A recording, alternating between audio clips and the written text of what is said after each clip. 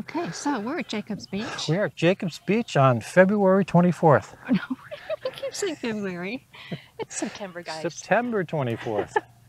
he wants Christmas and all that stuff to be over with, including Valentine's Days. Just move on. That's right. I want to closer get, to spring. I want to get back to springtime. Since we missed out on it this year. I know. This is where we used to take our sups out. Our sups, our stand-up paddle boards. And then because of COVID, we couldn't even get near the beach. So this is actually our first time here all year. Yeah, and the reason we couldn't get near the beach or anywhere else really for that matter is because we have an absolute moron for a governor here in Connecticut. He's a Democrat and he's a moron. Democrat equals moron, moron equals Democrat for those of you who don't pay attention. But it's unfortunate because uh, of all the restrictions this year, we didn't even get a chance to blow up our SUPs, never mind take them out. Um, and hopefully that'll all disappear by next year and we'll be able to enjoy our shoreline next year when all this is behind us. And actually it's all going to be behind us November 3rd when the election is over and all the politics will end. And no more poli political talk for us either. yeah, I'm, we're really sick of it, yeah. as I'm sure so many of you are as well regardless of what side of the fence you're on.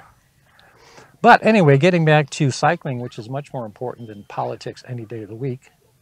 Um, we're here at Jacobs Beach. This is one of the places that we almost always ride to on our rides, uh, unless we head in an entirely different direction. But this is part of our southern route, as we call it. Yep. And I'm sure this camera's going to pick it up, but Long Island Sound out there, it's beautiful. And today is like dead calm. I call it sunburn weather.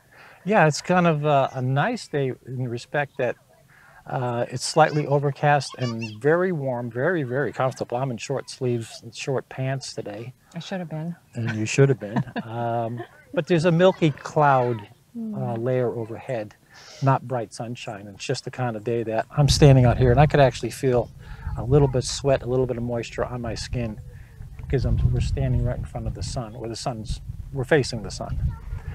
Uh, but nevertheless, for, for a late September day, really, really beautiful weather. And this is actually the time of year we really look forward to riding the most. I know, and pretty soon we're going to have foliage, the leaves turning. We had a drought this summer, and so a lot of the leaves started to just crunch up and fall early. But I did see some some signs of there is there is some signs of color, and it is yeah. kind of it is a little early, especially along the shoreline, for any sort of color to start showing up. But Susan's right. We've had a drought this year, and um, everything is crispy.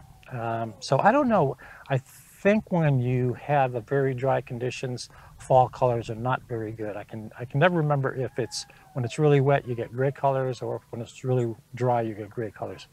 But based on the trees in our backyard. Um, every day, every week, we can really notice the difference in them. They're no longer that vibrant green that they were during the summer. Uh, July and August, they already they started to fade because of lack of water, and these are sugar maple trees. Uh, right now, um, they're turning more brown than they are color. So my suspicion is it's not going to be a very colorful fall for us, at least. But you know what? Less leaves to rake up. No, no, there's the same amount of leaves. It just probably fall earlier.